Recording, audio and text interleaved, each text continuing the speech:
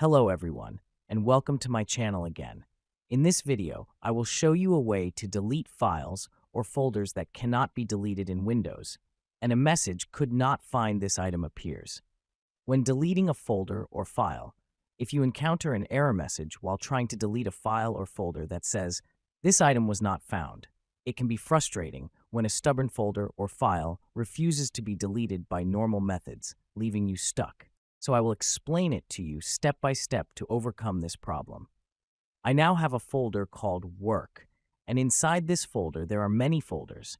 I will now delete all the folders inside the Work folder.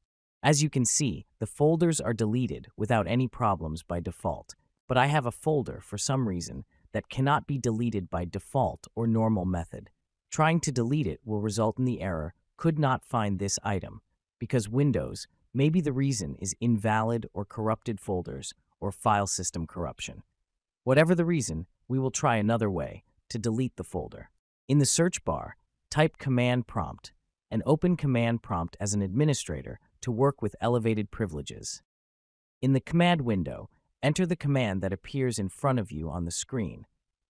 While changing the path, of the folder you want to delete, I will show you the command in the video description. The rd command is used to remove a directory s to deletes a folder and all its contents, including subfolders. Q cancels confirmation prompts so the deletion can proceed without problems and bypasses the normal Windows file system rules, allowing you to delete files or folders that are causing problems.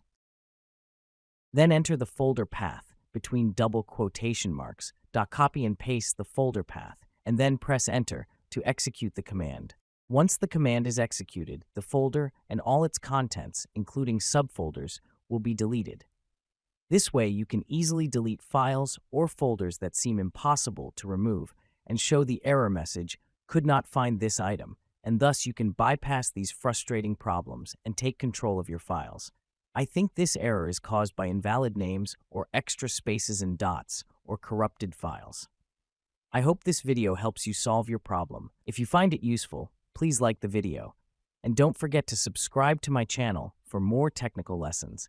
And feel free to leave a comment if you have any questions or need more help. Thanks for watching, and see you in the next video.